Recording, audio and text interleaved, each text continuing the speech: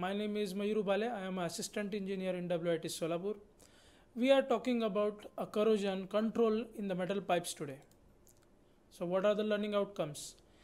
Uh, students will be able to understand various methods of corrosion control in the metal pipes. So let's see the different methods for corrosion control. There are totally four types of corrosion control methods. The first one is cathodic protection. Okay, where we convert the metal pipe into the cathode. Second one is protective coatings and linings. We protect the interior pipe perimeter uh, by giving out coating or lining into it.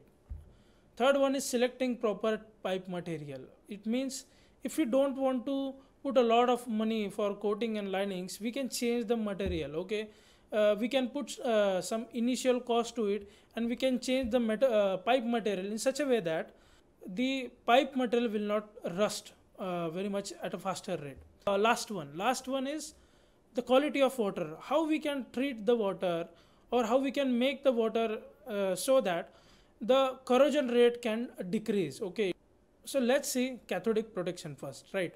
Here this is our metal pipe through which the water is continuously flowing. Here you can see this metal pipe outer is connected to a metal here I had taken magnesium. You can take a different uh, metal but you have to understand which material we have to take. We have to take the material in such a way that higher electrochemical series material. What does it mean? It means that it can give out electrons faster than this metal pipe. Okay? Then what will happen? When we connect these both metals what will happen? As it is giving out electrons at a faster rate it will try to throw out electron towards this metal pipe. As you had seen the, in the corrosion process, this metal pipe is behaving as an anode. Now it is receiving cathode at a outer parameter. Okay, what does it mean? It is shifted towards cathode. What will happen after that? Okay, at that time the inner parameter or the, uh, the electron which is flowing through the metal in the corrosion process it will taken out okay and it will be reacting with the soil which is present outside the pipe. How it is going to happen? What is its chemistry on which we can say that yes it is going under the cathodic protection? Before that you have to understand what is happening with this metal. Here in the mg the mg mg2 plus is dissociated and the electron is taken out from this wire and this Mg2 plus is given out in the soil. Okay? And all the soil materials all the soil anions what I can say which is negative charge it is attracted towards the metal and it is it is reacting with the Mg2 plus. Okay? Automatically it is becoming stable or its nearby area is becoming stable. So what I can say? I can say the Mg is dissociated into Mg2 plus and 2 electron 2 electron minus. Okay? At this side what is happening at this side? At this side whatever the oxygen which is present uh, which is present in the underground soil that is our oxygen okay? And the water which is present outside in the underground soil. I am not talking about the inside water flow rate. I am talking about the water which is present outside which is in the underground soil. It will try to capture the electron which is coming from this wire and it will form 4 OH minus outside the pipe on the parameter. So what will happen that this OH minus will try to form the negative charge on the pipe. It means it will try to shift all the anodic sides to cathodic sides. So what we can say it will try to decrease the corrosion process. I am not saying it is going to stop the corrosion process. I am saying that as relatively cathodic sides are too much and anodic sides are very much lesser. And electron is not shifting towards in interior cathodic side but it is shifting towards outward cathodic side so automatically inside corrosion is going to stop. There are chances that this outer parameter can getting uh, can get corrode but chances are very much less and it doesn't involve and it will not co getting contact with the interior pipe. So the design flow will not change the pressure head will not create and automatically we will get the effective uh, water flow into it and water which we had designed and its quality will not change too much. Okay? So what is the next one? Next one is protective coating and lining. So there are different type of uh, coatings and linings which are present in the market. Let's see the first one. Basically in the paints we use mostly uh, red lead paints and zinc pigment. Okay these zinc pigments and red lead uh, pigments are basically lower electroseries metals. So they are not gonna rust uh, rust very much faster. Uh, second one is galvanization. In the galvanization basically we uh, we do for a very small diameter pipes okay? How we can do that? We put a pipe into a molten zinc okay? So that all the surface area will be very much precisely get covered with the zinc belt. Okay it is mostly expensive so we don't go for such kind of a galvanization. Okay uh, the third one is the bituminous compound coatings in which we use bituminous for the coating of pipes. Okay for it is mostly done for conveying system or what we can say uh, large pipes. Okay for the large pipes. If you see in this diagram it is the outer parameter is coated with the bituminous and the fourth one is uh, cement linings. We use cement uh, for the coating of uh, interior pipes in which uh, we mostly use 1 rest to 2 cement mortar. Okay it is also mostly done for conveying system pipes. If you see in this uh, diagram uh, you can understand the interior pipe is coated with the cement linings. Okay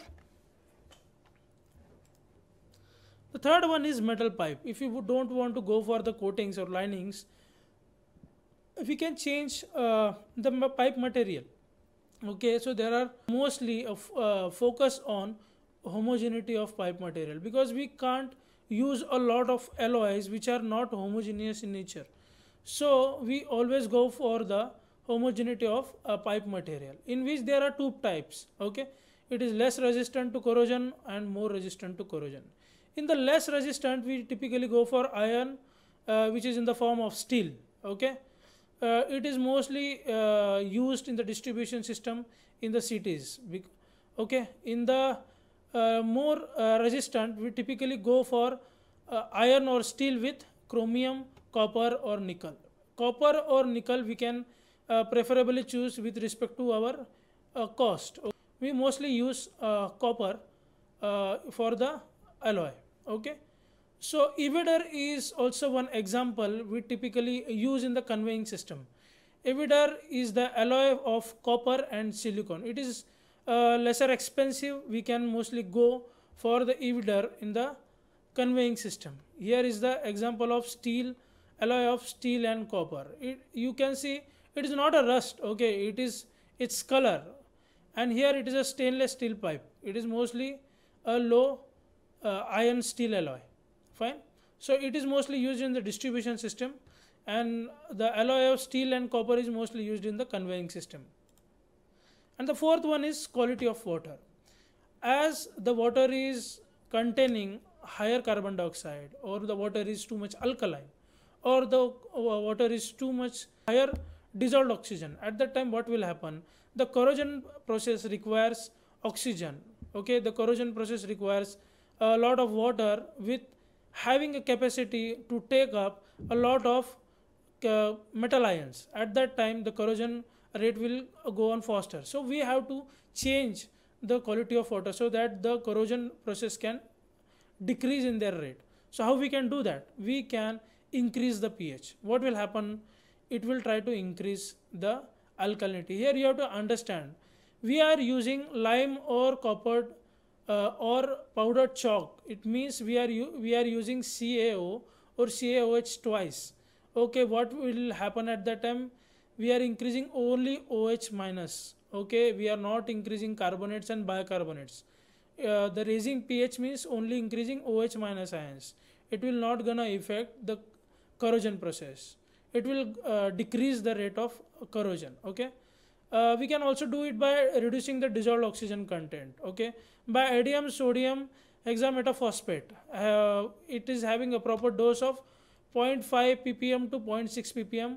We can decrease the oxygen content of water. What will happen after that? It will try to decrease the rate of corrosion okay? And the third one is reducing the uh, dissolved carbon dioxide. By uh, decreasing the dissolved carbon dioxide it is basically the calcium carbonate can also be uh, you know can be controlled. It means when we decrease the uh, carbon dioxide automatically the ferrous bicarbonate will not form. Uh, after that ferric hydroxide will not form. So by decreasing the dissolved carbon dioxide we can stop the corrosion process at a very rapid rate okay? It is also done by adding sodium metaphosphate. So let's see some review questions the first one is corrosion of steel is controlled by addition of lime true or false second one is corrosion control is cheap in selection of pipe material changing quality of water cathodic protection protective coating third one is protection of stainless steel from the corrosion require cathodic protection changing of quality of water protective coating or none of the above. So these are the answers for that. The corrosion is mostly controlled by addition of lime. Yes, it is always true. A corrosion control is cheap in only protective coating. Okay. In the protection of uh, stainless steel from corrosion require none of the above. Okay, because stainless steel is basically alloy, and if you are changing the above three processes, we can't do that. Okay, so we must go for a proper higher grade stainless steel. These are the references I have studied for making this PPT. Thank you.